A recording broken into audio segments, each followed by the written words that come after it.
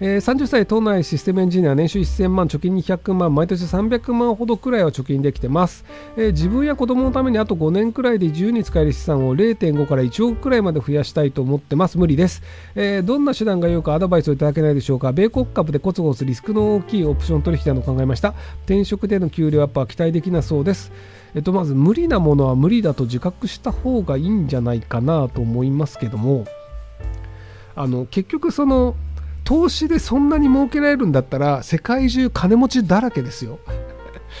で要はそのあの投資で儲けた人もいます。でも投資で儲けられなかった人の方が多いです。で一番その資産を増やしやすいのはあのその要は、えー、普通のその資産が今のところ貯金200万円ぐらいの人であれば働いた方が簡単に増えます。あの資産が1000万とか1億とかの大台に乗るのであればじゃあ資産が資産を生んでっていうのでいけるんですけどその株の才能がないとするとその株の才能のある人と戦わなきゃいけないのでそうするとその株の才能のある人って例えばじゃあその株で儲けてますって人は専業で株やってるわけですよ。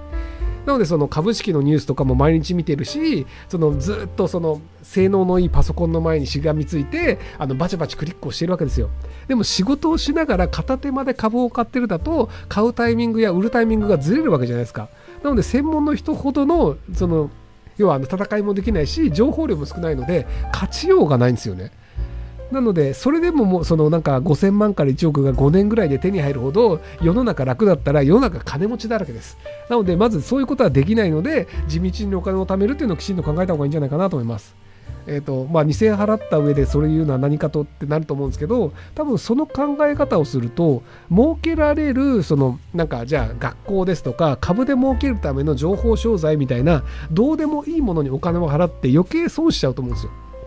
なので基本的には資産が増えるっていうのは資産のある人たちがやることであってたかたか貯金200万円ぐらいの人が資産増えるような状況に世界中がなるはずがありません。